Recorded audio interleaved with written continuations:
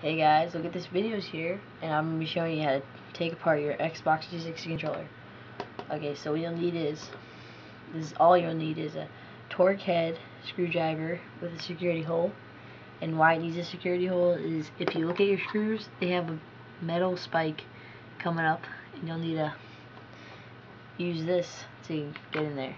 But if you just have a regular Torx head, don't feel like going to buy one with a security hole, you can um, break the screw out in the middle using a regular screwdriver like a Phillips head and then just unscrew with that.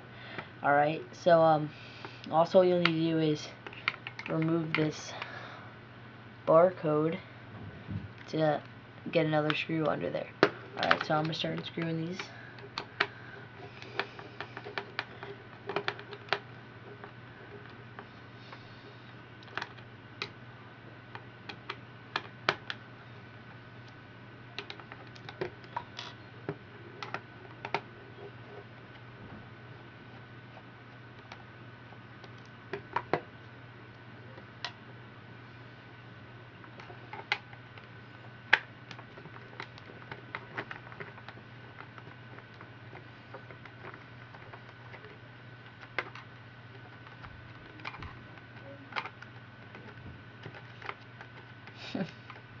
Can't get in there.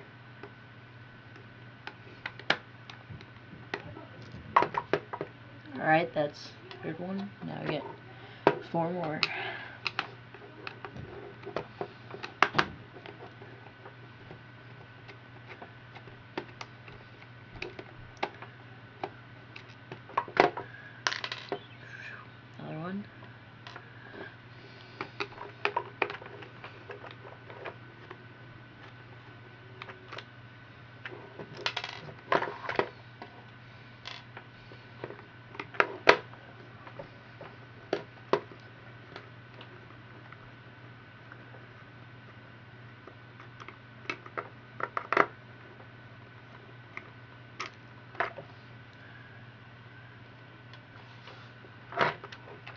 this one.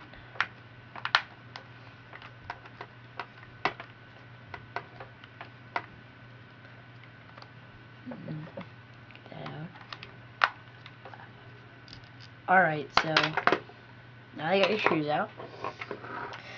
You don't want to take it apart like this because all these buttons will fall out, being a big mess. You want to lift it up using this part. Might have to push the triggers in. Alright, so that just pops off. Now you got your circuit board. Flip that up. You notice how my Xbox controller is so dirty. Look at that. Look at all that dirt. This is really old Xbox controller. Alright, so just wanna pull this out. Could take some muscles.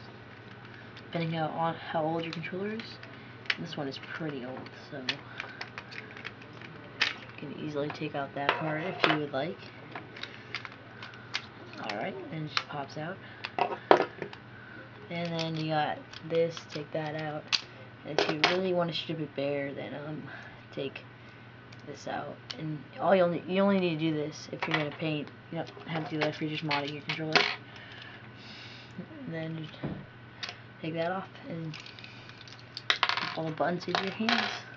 Alright, now taking off the D-pad, you don't have to do unless you're painting your controller. What's like I said before, there's two there's two screws right there, and then there's two things you have to pop out. This will come out, and the D will fall out. Um, I don't have a screwdriver small enough to do that, so I'm just not gonna do it. All right, so here comes the hard part: taking this off, taking the triggers off.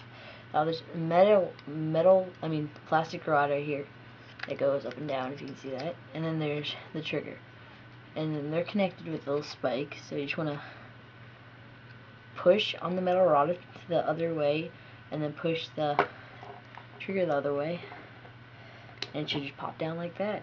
Really easy. Zoom in. Alright.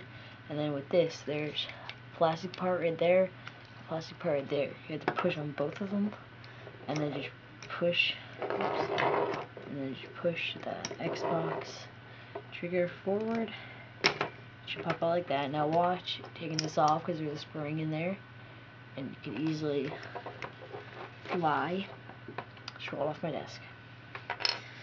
Alright, so once again you push on this that way and then you push that way on the trigger. So just like that, real easy. Need some elbow grease. Alright, it'll pop down. And then a little out of control there, but you just push on the two metal things and push, and then just wiggle it off. Alright, now, I recommend taking this stuff off. Now, you don't need to, but I recommend it because the wires are pretty small. Could easily rip. So, yeah, take that off. And then, some thunder going on. Take this off.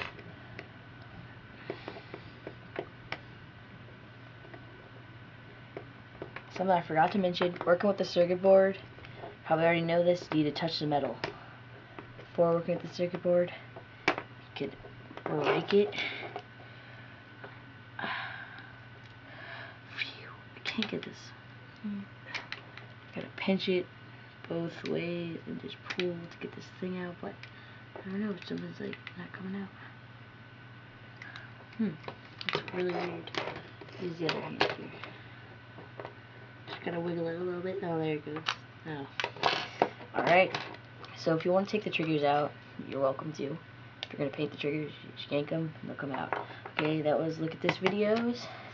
Um, check out my next video on how to put it back together.